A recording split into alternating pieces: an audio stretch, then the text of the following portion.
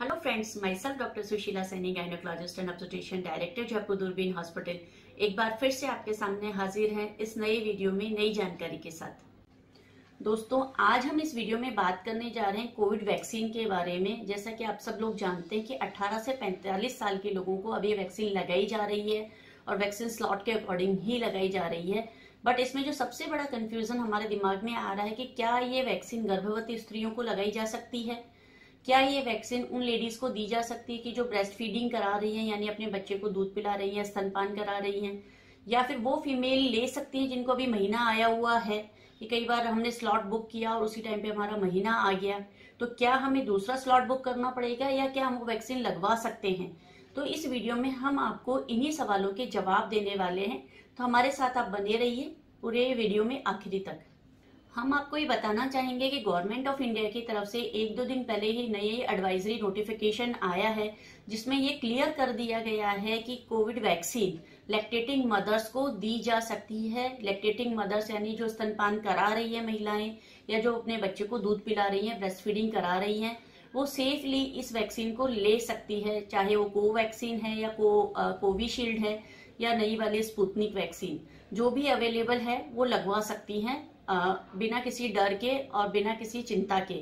और ये माना जा रहा है कि अगर आप अभी वैक्सीन लगवा लेती हैं तो हो सकता है कि एंटीबॉडीज आपके दूध से बच्चे को भी ट्रांसफ़र हो जाए और आपके बच्चे में भी इम्यूनिटी बिल्डअप हो जाए।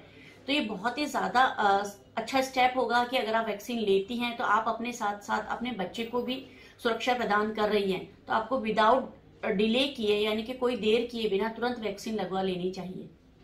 दूसरा सवाल जो हमारे दिमाग में है कि अगर हमें महीना आ गया है और उसी टाइम हमारा स्लॉट का नंबर भी आया, जो हमने स्लॉट बुक किया, उसी टाइम पे हमारा महीना आ गया है तो क्या हम वो सेफली वैक्सीन ले सकते हैं? इस टाइम पे क्या वैक्सीन लगाने से हमें किसी प्रकार का कोई नुकसान होगा, कोई साइड इफ़ेक्ट होगा? तो हम आपको ये बिल्कुल क्लियर कर देते हैं कि इस समय पर, यानी कि महीना आने के साथ अगर आप वैक्सीन लगवा लेती हैं तो आपको किसी प्रकार का कोई नुकसान नहीं होगा। वैक्सीन की इफेक्टिविटी पे कोई फ़र्क नहीं पड़ेगा और आपको किसी प्रकार का साइड इफ़ेक्ट नहीं होगा। वैक्सीन आपके लिए उतनी ही प्रोटेक्टिव है कि जितना कि आप नॉर्मल डेज़ में लगवाती, और वैसा ही कोई साइड इफ़ेक्ट नहीं है कि जैसे आपने महीने के टाइम पे लगवाया तो उससे कोई एक्स्ट्रा साइड इफ़ेक्ट होने वाला है। तो ये दिमाग से आप अपनी चिंता निकाल दीजिए और विदाउट टेंशन आप अपना वैक्सीन ज़रूर लगवाइए। क्योंकि ये डेफिनेटली प्रूव हो चुका है कि वैक्सीन कोविड से मदद बचाव करने में बहुत ज़्यादा मददगार है।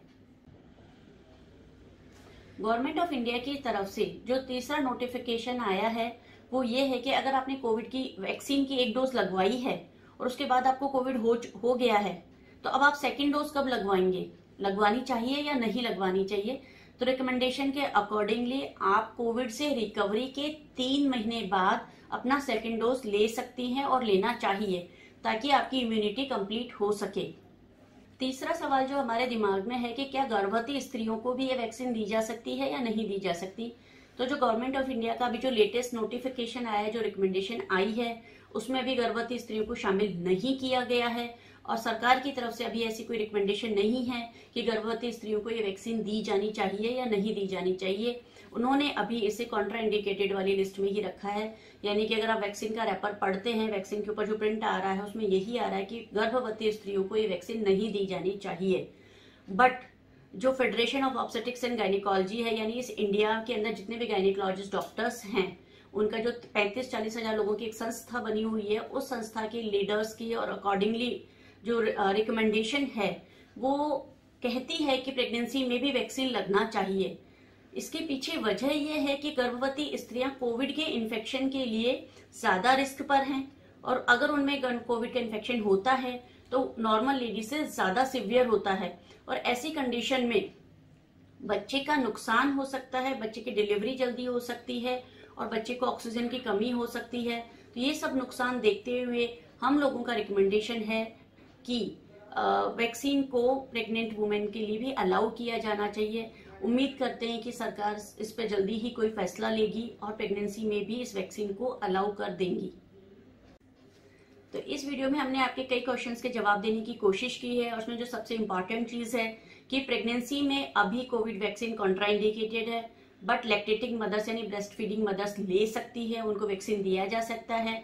और आप महीने के दिनों में भी वैक्सीन ले सकती हैं। और अगर आपको एक डोज लेने के बाद में कोविड हो गया है तो आप सेकेंड डोज तीन महीने के बाद ले सकती हैं और वो लेनी चाहिए, छोड़नी नहीं है। अगर आपको ये वीडियो लाभदायक लगा हो तो तुरंत आप इसे अपने फ्रेंड्स में और रिलेटिव्स में ज़रूर शेयर कीजिए। और अगर आपके वैक्सीन से रिलेटेड कोई भी और क्वेरी है तो आप नीचे कमेंट बॉक्स में लिख सकती हैं। हम आपके जवाब देने के लिए हमेशा अवेलेबल रहेंगे। फिर मिलेंगे आपसे नए वीडियो में नई जानकारी के साथ। तब तक नमस्कार।